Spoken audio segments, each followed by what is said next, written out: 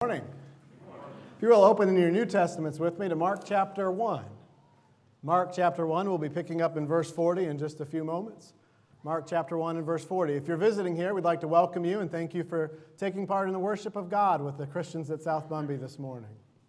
For those who have been here the last few months now, you'll know that Ken falsely gave an idea of a truce. Two weeks ago, he said that there were two groups of people here there were those who were attractive, and that there were those in my group. But then I talked to Deidre, and she pointed out Ken's in neither of those groups. I thought that was mean. But then she asked what I was going to preach on, and I said, Well, somebody who's kind of broken down and miserable. And she said, Not Ken. And I said, No, the leper in Mark chapter 1 in verse 40. I accept your truce now, Ken. Mark chapter 1 in verse 40. And a leper came to him, imploring him, and kneeling, said to him, If you will, you can make me clean. Moved with pity, he stretched out his hand and touched him and said to him, I will be clean. And immediately the leprosy left him and he was made clean. And Jesus sternly charged him and sent him away at once. And said to him, See that you say nothing to anyone, but go, show yourself to the priest, and offer for your cleansing what Moses commanded for a proof to them. But he went out and began to talk freely about it and to spread the news, so that Jesus could no longer openly enter a town, but was out in desolate places, and people were coming to him from every quarter. When we think about Jesus, there's so many stories of healing, so many examples and illustrations of his compassion, of his pity, his love, his powerful healing spiritually and physically. And as we go over these time and again and we see him heal again, we show him, see him show compassion again, I'm afraid sometimes we lose the awe that we should have that here was somebody with leprosy. Perhaps the worst disease somebody in a Jewish society could have, because not only was it incredibly painful, not only was it a basically daily humiliating experience, it impacted not only their pain threshold, not only their humiliation, but it meant they had to live away, apart, and separate from their brothers and sisters from the tribe of Israel. When we think about what leprosy did, it made them an outcast. A leper would be someone who couldn't live normally, even under God's generous law of Moses. And yet, here is Jesus approached by, in verse 40, a leper who seemingly understands who or what Jesus offers. He tells him in verse 40, If you will, you can make me clean. There is certainty, there is faith, there is trust in the leper's words. But I want to key in this morning not only on the leper, but also Jesus. In verse 41, some translations perhaps better render it moved with or by compassion. Jesus, as we know, would heal this leper. I think it's interesting that Jesus is moved by compassion, and it shows me as a follower of Christ, I have to be moved in that same way. If I'm not filled with compassion, can I say I'm like Christ? It's not just here. You think about Matthew chapter 9 in any number of passages. Jesus looked at people for, yes, even their physical problems and had compassion and pity. Was he focused on spiritual teachings first? Yes. Always. You look in the text, Jesus was concerned with his message getting across. Even as you look at 44 and 45, what was Jesus worried about? This man could have been a great evangelistic tool, but he said, Don't tell anybody. Now, verse 45, the leper ignored him. The now cleansed leper went out and told everybody the good news. But Jesus was fixated on his work. And part of his work was done because he had compassion. And I think as we study this this morning, we have to see as his followers, do I have that type of compassion that Jesus was moved by? Am I filled with the compassion for others? Or only an empathy and sympathy when I decide in my prideful vantage point that someone deserves it? Or that it's somebody close to me who I have compassion on? Jesus met a stranger in a tough situation, and he's willing to help. And I want to look at how he helped. In addition to being approached with certainty, with faith, with trust. Notice in verse 41 and 42 how Jesus does this. Jesus is all powerful. He has shown this throughout the Gospels to us. Now that we have the completed set, we know Jesus could heal from distance. He could speak and somebody could be healed. But notice what he does. In 41, He stretched out his hand and he touched him. Jesus touched the leper to heal him. And that sounds like an insignificant detail till you remember Jesus is all powerful. Could he not have said, Hey, you stay over there, I'm going to heal you? He could have. Could he not have healed him from a distance? Yes, of course. But Jesus was willing to be involved in life with somebody with leprosy. And what's the other problem about leprosy, by the way? Why do they have to live separate? Because it could spread, it was contagious. Jesus wasn't moved by that, though. You know, we, we give ourselves a lot of outs on things. We say, well, I would show compassion, but I would be there to help serve, but I just.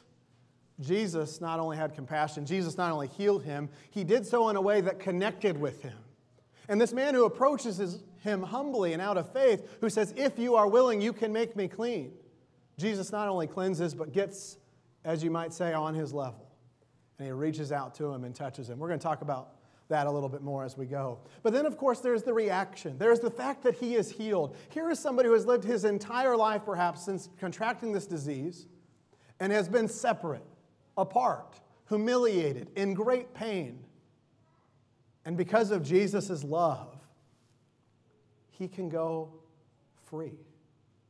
He can live a life that he could otherwise only dream of. There are many people here suffering with a number of different ailments. But as we keep in mind whatever may be bothering you, imagine if the great burden on your life was immediately lifted. How exciting. How enthusiastic would you be to know your greatest challenge in life is not only behind you, it is completely gone. It won't come back because someone you understood had the power to heal a disease that was incurable, that was horrible and excruciating. He touched you, healed you, and made it disappear forever. That's powerful. In this life, when we have our ups and downs, we're like, well, we're, we're going to get through it. But we know in the back of our minds, it's coming back. Maybe not the same challenge, but one like it, or maybe one completely different. There's going to be ups and then there's going to be downs. And yes, there's going to be an up, but then there's going to be another down. But for the leper healed by Jesus, the leprosy was gone. And so it's not surprising that even though we're not endorsing, ignoring what Jesus says to do, when Jesus says, You tell no one, in verse 45, what is the natural inclination of this man who's been given new life? To go out and to tell everybody about what Jesus did for him. Do you think that changed the perspective of this leper any?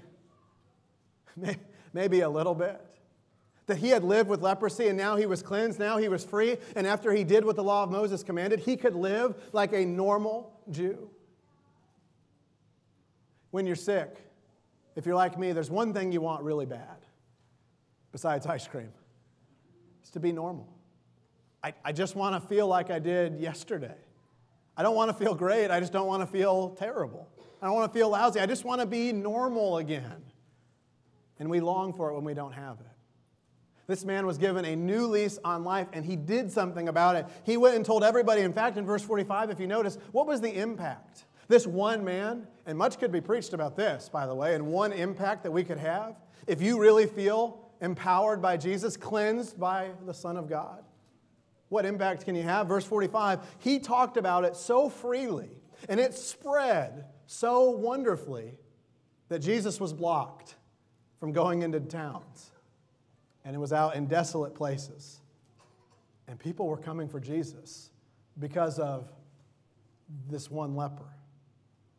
Let's never say we can't make an impact or a difference. But we have to feel that difference. You see, it's interesting that Jesus shows compassion. There's two elements. We need to take the idea of showing compassion like Jesus and also being like the leper who is thankful and has the perspective of humility towards Jesus. And that will help guide us to the compassion Jesus wants us to show. So, as we look at Jesus as an example, I want to look at two lessons from that this morning about Jesus, and then we'll look at some from the leper. From Jesus, we have to feel compassion towards others. Look at Matthew chapter 9. I mentioned that before, but look at Matthew chapter 9. And if you pick up the reading with me in verse 35, notice again Jesus' focus, where it will be, but where his heart is in keeping with his focus. It is possible to walk and chew gum at the same time, and Jesus did that better than all of us. He keeps the spiritual focus, of course, but then there's that concern for others of too. Verse 35 And Jesus went throughout all the synagogues and villages, teaching in them and proclaiming the gospel of the kingdom and healing every disease and every affliction. When he saw the crowds, he had compassion for them. Why? Because they were harassed and helpless. They're like sheep without a shepherd. Then he said to his disciples, The harvest is plentiful, but the laborers are few. Therefore, pray earnestly to the Lord of harvest to send out laborers into his harvest. Notice Jesus in verse 36 has compassion for the crowds who are following him. In verse 35, is he healing people? Yes, because Jesus cared about that, and that showed that he was something greater than man, that he had the power of God, and that was unique and special and different. But there's also the compassion in verse 36 that is linked by Matthew to why Jesus felt it, because he saw what problem in the people.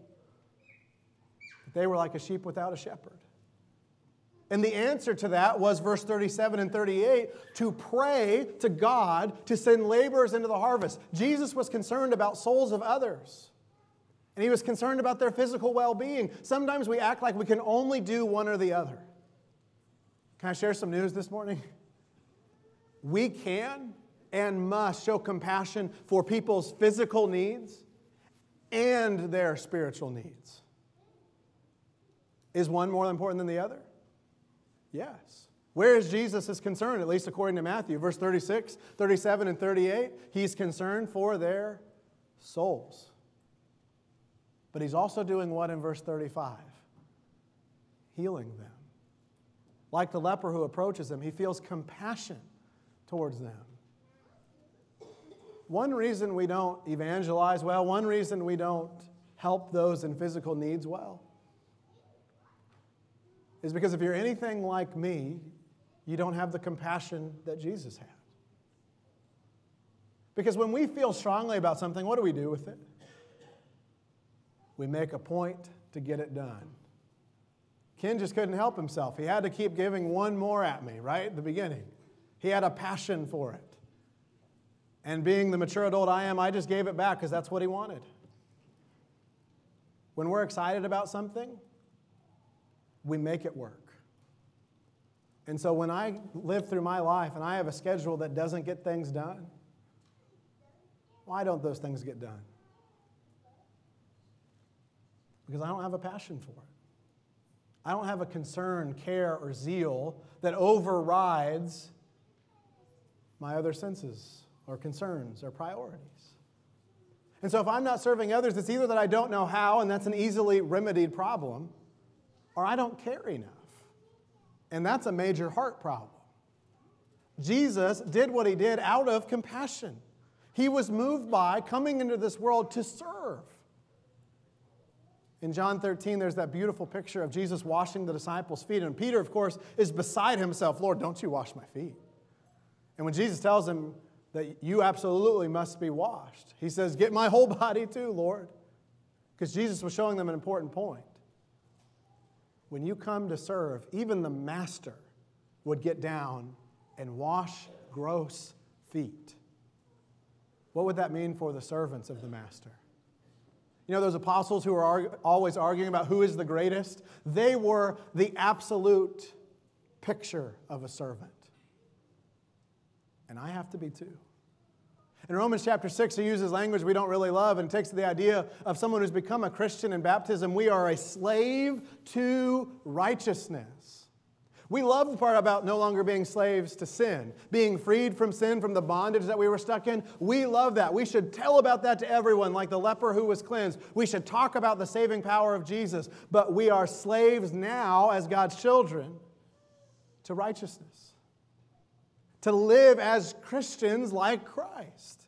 And if Jesus had compassion, I have to too. And part of that means doing things that involve, quote unquote, getting our hands dirty. I have a lot to say on getting our hands dirty. Uh, many of you may have noticed there's hand sanitizer around the church building. That is one of my favorite things. As my grandfather used to say after church services, he'd say, I got to go wash the brethren off. Think about that for a second, it'll come to you. But as somebody who doesn't really love my hands being dirty and various germs and such being on them, I constantly use hand sanitizer. And yes, I know, first of all, it's weird. And second of all, I know that it kills the antibodies or whatever it is. I just don't want my hands dirty. Jesus touching this leper is pretty amazing. Jesus could heal from across the street. I wonder how many of us would say, let's even have a conversation with this leper. The leper approaches us, that's kind of a taboo, that's a no no. And here's somebody with a contagious, awful disease that will change and ruin my life from a physical perspective. How close would we get? Jesus not only was talking with him, not only was approached by him and didn't recoil, Jesus heals him by touching him. Compassion drives us to meet people where they're at. Without it, we won't get it done. How can I think I can serve God in a pleasing way if I won't follow the example of His Son? And so, what does getting our hands dirty mean? Go up and touch everybody who's sick? I hope not. Luckily, in hospitals, they have all kinds of hand sanitizer everywhere. But there's more to it. In someone's life, when there's a need, it is going to be inconvenient. It might be something you don't want to do, you're not comfortable doing. It might be having a conversation in a place or with a person that you don't feel like you connect with. Did that stop Jesus? Jesus had compassion. I know everyone's thinking, well, Jesus knew he wasn't going to get leprosy. But we're called to serve and love like Jesus. And while I'm not saying go out and find a leper and touch them and just dare him to give you leprosy, Find a place you can serve and stop doing just what's easy.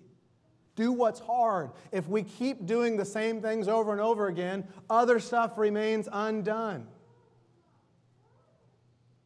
If I don't have compassion and care, if I don't have eyes to look around and see a need and be willing to me go fill the need, how can anything ever get done?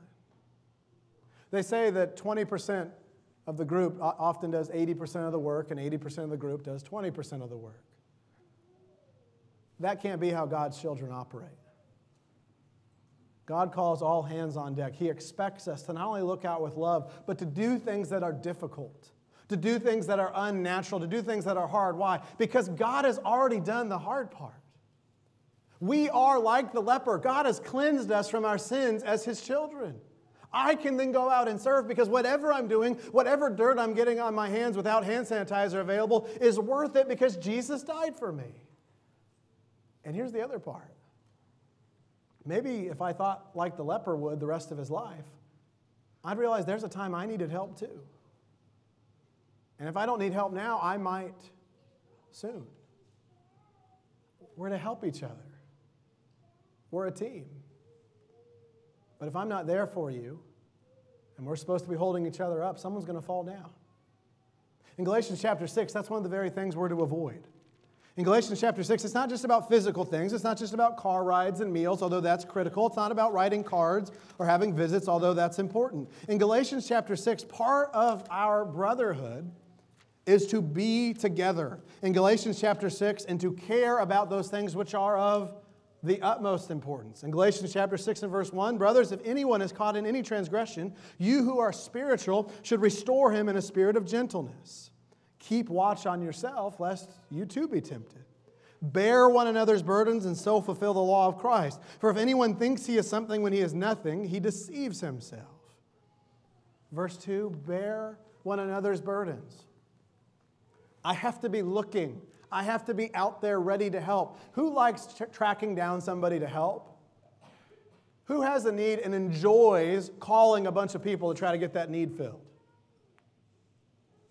None of us. And so, if we have a need, what would we like someone to do? Ideally, find me and say, hey, you hide it really well, but I happen to know that you have a need. I'd like to help you.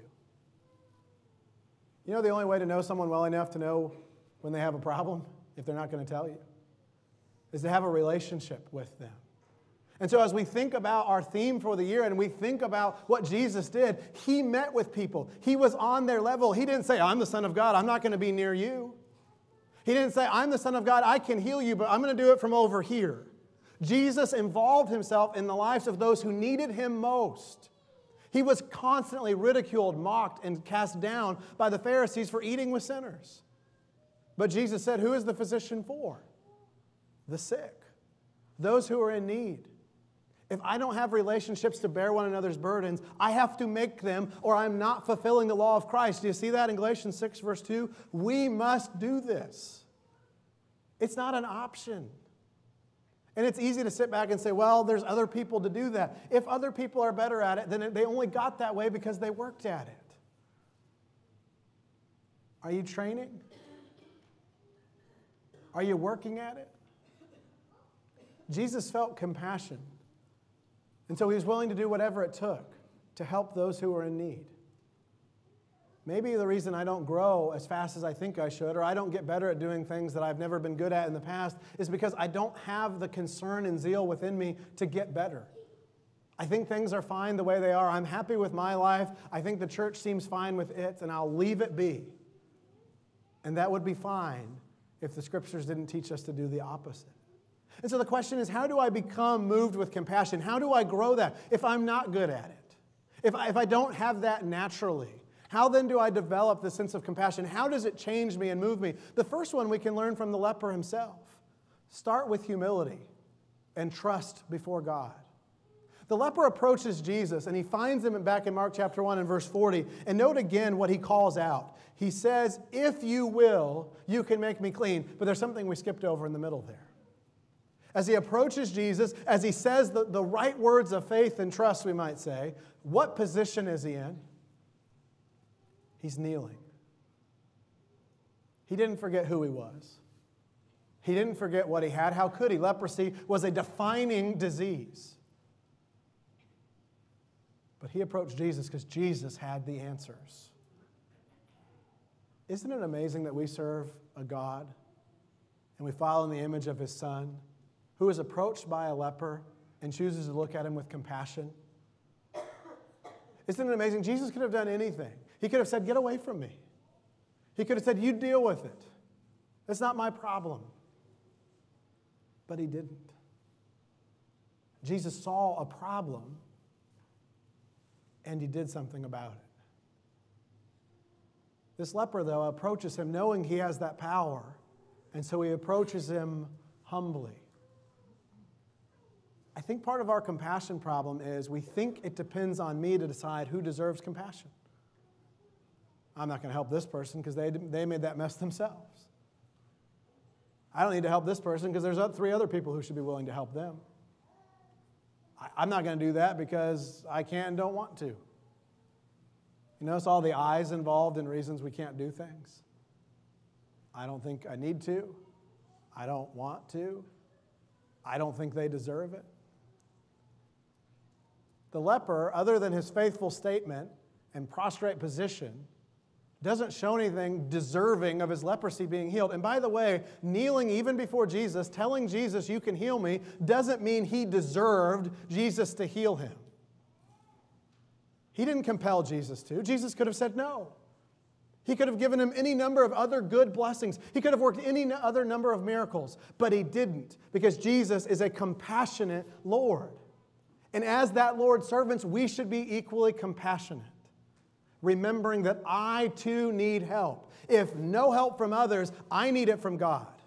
Because I, like the leper, have a disease that would take my life. Sin makes you miserable. It may not now, although I think if we're honest, it does. But it will forever like the rich man trapped in torment. We will realize when this life is over where our emphasis should have been, where I should have been living for, what I should have been looking to. And so, as we think about my position, when I think about who I am before Jesus, I am a humble slave who needs his grace every day. How many prayers of forgiveness have you offered? How many times have you had to get on your knees and pray to Jesus to forgive you of a sin, even knowing better. Because we know without Jesus, like the leper, we have no shot. But because of the blood of Jesus, we can be forgiven. But if I am forgiven and if I am dependent upon my grace from God, shouldn't I be willing to show grace to others? If I have an incurable disease and someone helped me, shouldn't I look out and help them too? Anyone, everyone, if there's a need, I need to be the one to fill it. That is my whole existence. I was bought with a price, the blood of Jesus. If knowing that Jesus was crucified on the cross and died for my sins doesn't compel me to give up my life and live for Him, nothing will. And so we need to remember every day the humility and need we should have in our standing before God, and that will help guide ourselves towards others.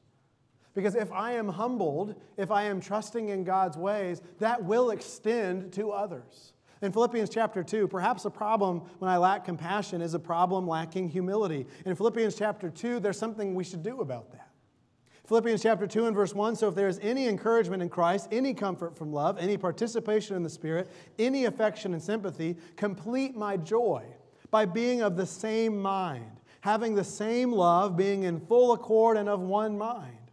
Do nothing from selfish ambition or conceit, but in humility count others more significant than yourselves. Let each of you look not only to his own interests, but also to the interests of others. What is Paul calling the Christians to? He says, We're supposed to be unified. We're supposed to be on the same team. By the way, verse 5 through 11, who is the poster child for humble service towards others? Jesus. The very Jesus in verse 9, who God has highly exalted and bestowed upon him the name above every name. Jesus, to whom every knee should bow in verse 10. In verse 11, Jesus, to whom every tongue shall confess him as Lord. Jesus is the one who, in humility, counted himself as a servant and came to serve.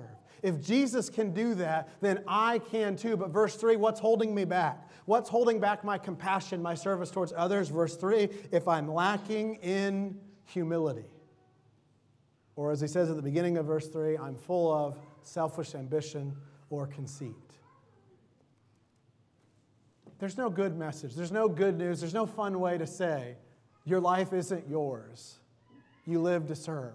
I have to live every moment serving God. But what is great, what is wonderful, what is life changing is the reason I am a slave of God is because Jesus purchased me with his blood. That is amazing. I was cleansed. That should change me. And so if I'm failing in showing compassion, if I'm not taking the initiative to serve others, can I really say I'm understanding the principle of humility, of my need for God every single day? Verse 4, what are we to look for? Maybe we don't have the emotion that we tend to attach with compassion down. Verse 4 gives a pretty good rule. Maybe you don't have the emotion down, but no matter what, have the verb. Look out to the interest of others first.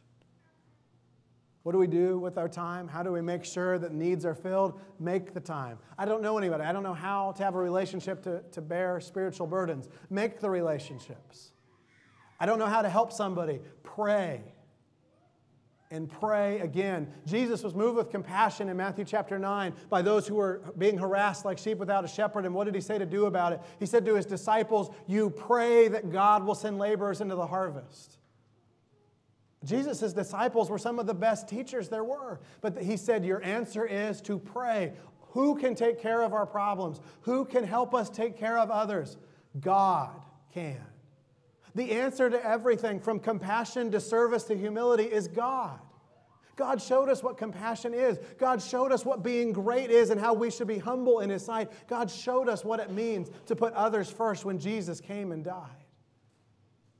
Jesus, the King, was the foot washer.